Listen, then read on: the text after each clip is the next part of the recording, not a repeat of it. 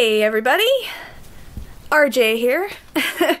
this is a test. Uh, this is not going to be the best video you've ever seen. Certainly not in but usually podcasts are listened to. I don't even know what I'm doing. I genuinely don't know what I'm doing. I'm also talking very fast. Welcome to me. I'm very, very, a very fast talker. I will try to slow down.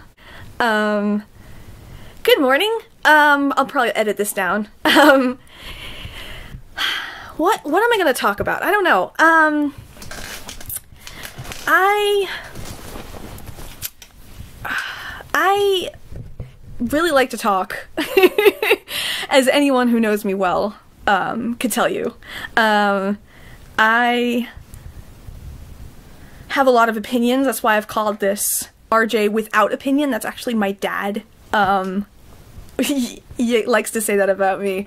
Um, he'll say, um, "This is RJ without opinion," but it's sarcastic because I am incredibly, incredibly opinionated.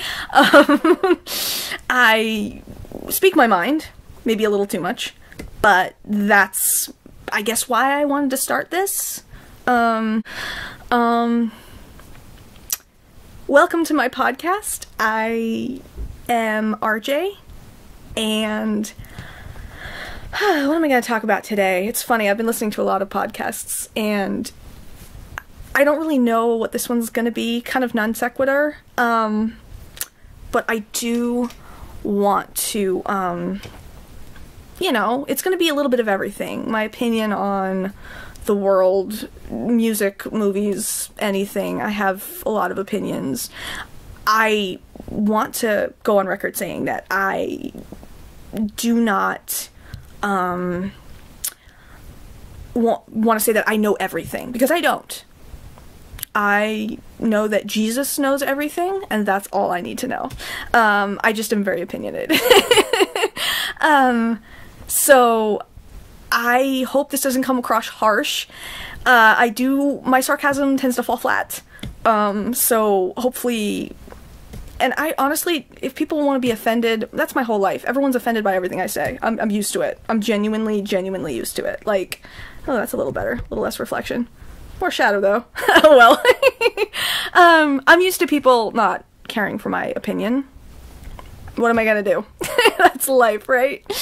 Um, I guess that's why I'm talking to you guys, whoever's listening. Um, so this is my introduction. If I'm talking too fast, I actually this is kind of this is a test. I'm not really this isn't really what it's gonna be like me just kind of going um um um.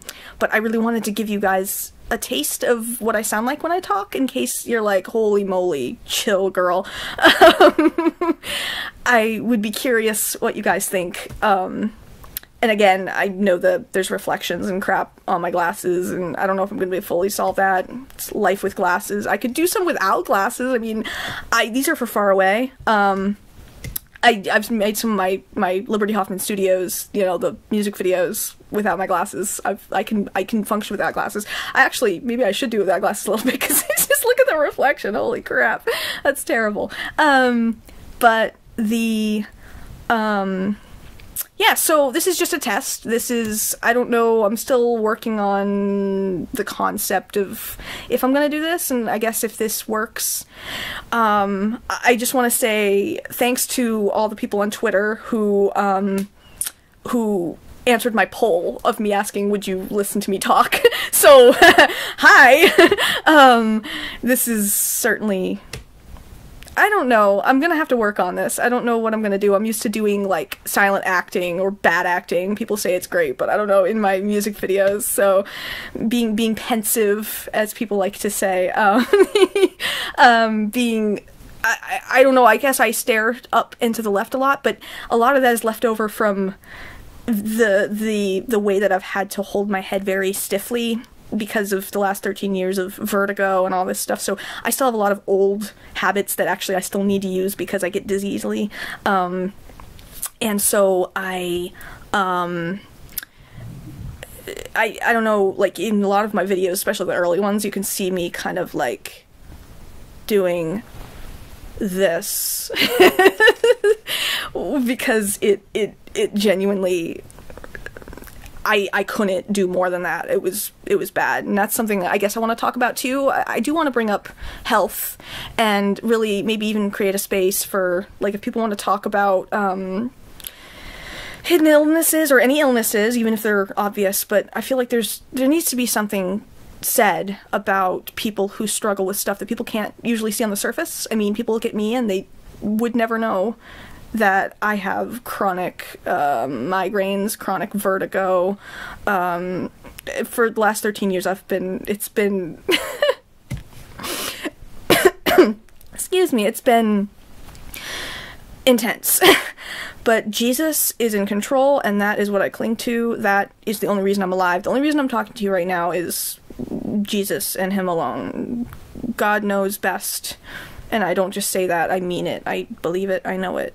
Um, but I, I, let me tell you, it's it's hard not to talk about my health a lot because um, I it's every day. Like I literally I wake up. I woke up this morning with a weird like half dream and then part of my focal aware seizure thing kicked in and let me tell you waking up with that is from hell i hate it i it it's scary.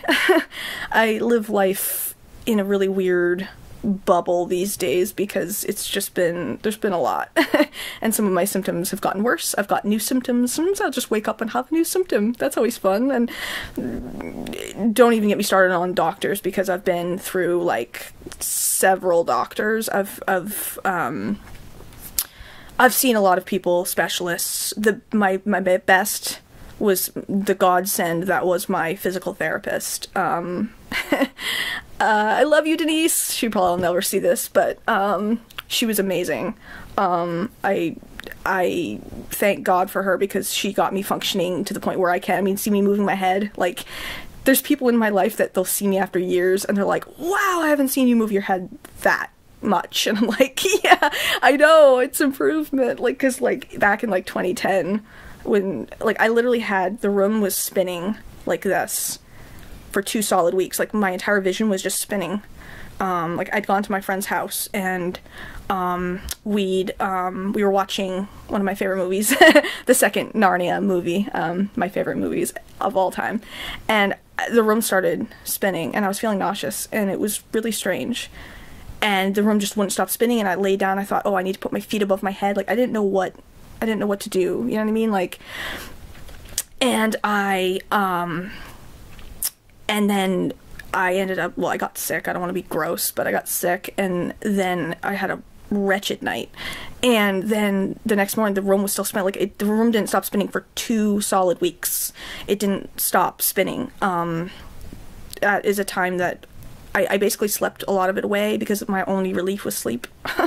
and I remember just praying and crying and praying and crying every time I woke up. There, I'd just be watching like the ceiling. I couldn't watch movies. I couldn't watch. Um, I couldn't like I was listening to audiobooks and staring at the wall and willing it to stop. It would like change direction too. It it wouldn't stop, but it would like reverse loop. It would. That was. I hope no one ever has to experience that, but unfortunately, I have read store, I know there's plenty of people who experienced similar things. This camera angle is terrible. I'll work on this. But um so I guess it doesn't it doesn't help when people don't believe me and there's a lot of people that don't believe me or they give me the age old oh trust god harder and you'll be healed and i'm like you know what i actually get i get hate for this I um I had to come to grips a long time ago that um if God doesn't want to heal me, I have to be okay with that. I have to be okay with that. Well, otherwise, I'd literally just spend my days screaming bloody murder because it's hard to live inside of this skin. it's hard. And I hope this helps somebody that maybe me talking about my my problems might help somebody. Like, there's a lyric from um, Matt Hammitt, the lead singer of Sanctus Real, uh, wrote a song um, called, um, I think it's called Let Go. It's on his album um, Every Falling Tear. And he, um, there's a lyric where it says, Please don't let my suffering go to waste. And that that's something that I feel in the depths of my soul. I think of that lyric a lot. Like I literally pray that to Jesus. I say, please God, don't let my suffering go to waste. So I guess part of me wants maybe some of this can be me really being honest about my health and maybe that that would genuinely that that would help somebody else that's going through similar stuff or even if it's utterly different but you feel like you're heard. Because whoever you are whoever whoever you are out, out there um, I, I know that I can't I can't um, wrap my head around um, everybody's hurt, but it hurts me that other people, just anyone anywhere, are dealing with stuff that the doctors can't figure out like me like the doctors can't figure it out you've you've been tested you've had EEGs and MRIs and nothing I've been to physical therapy over and over I've I was on a medication that screwed me up real bad, and I'm still feeling the after effects of that. I mean, look at how pale I am. I look awful, and my as I, we might as well just address my my teeth. They're terrible. Welcome to my disgusting face in life. I I'm shocked people don't bring it up more on my my music videos that I put on, on this channel. Um, genuinely, um, I, am shocked. I, what can I say? I have bad teeth. I've had this is another. I have so many things. This is another thing I've dealt with since I was a kid. When I hit, I want to say, like my teeth used to turn in my mouth. They still do sometimes. I'll, I'll feel like this ache that most people would say would be a toothache, and it's actually just my teeth moving, shifting in my mouth. I have a tiny tiny little you can't on camera it doesn't look the same but like in person like i've had dentists be like you have a tiny mouth? What in the world? Like i genuinely have a teeny tiny mouth. Um what can i say? Um so yeah so that that that out of the way.